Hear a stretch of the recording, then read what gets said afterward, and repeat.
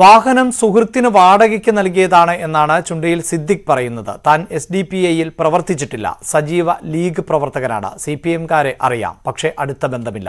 രാഷ്ട്രീയ കേസുകളാണ് തനിക്കെതിരെയുള്ളതെന്നും സിദ്ദിഖ് ന്യൂസ് എയ്റ്റീനോട് പറഞ്ഞു. അത്യാവശ്യം ഞാൻ ഫോർച്യൂണറില്ല എന്റെ രണ്ടുമൂന്ന് വണ്ടി ഞാനൊരു ട്രാവൽസ് നടത്തുന്ന ആളാണ്.